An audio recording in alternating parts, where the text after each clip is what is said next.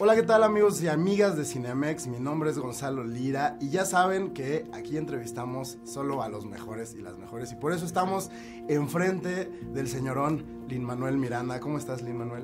Bien, lo más bien, gracias, un placer. Que está en México presentando El regreso de Mary Poppins.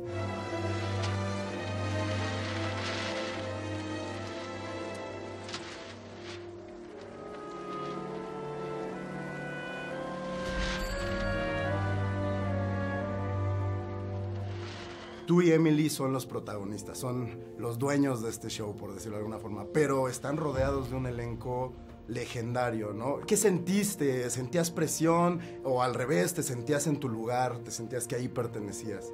Bueno, un poquito de los dos.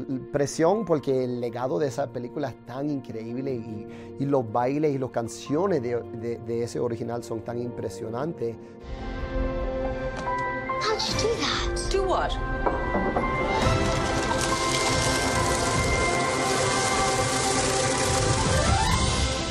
También has hecho este salto, ¿no? La gente te conoce principalmente en teatro, ahora estás en cine. ¿En qué radica esa magia del cine que, has decidido ahora buscar un camino también ahí? Bueno, para mí la, diferencia en actuando en teatro y cine es de dónde viene la energía. Viene de, la audiencia cuando estás en el teatro. Ellos te dan toda la energía. cuando estás haciendo una película viene de la realidad que está cada momento es once in a lifetime. Hoy estamos bailando con Pingüino. Mañana estamos cantando con Meryl Streep. La semana que viene, we're shutting down Buckingham Palace con mil bicicletas. Um, so tienes que estar tan presente porque no vas a regresar a ese momento. Um, y me encanta esa energía también. Everything is possible. Even the impossible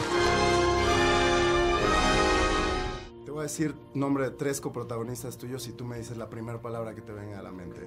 Ok, Dick Van Dyke. Energía. Angela Lansbury.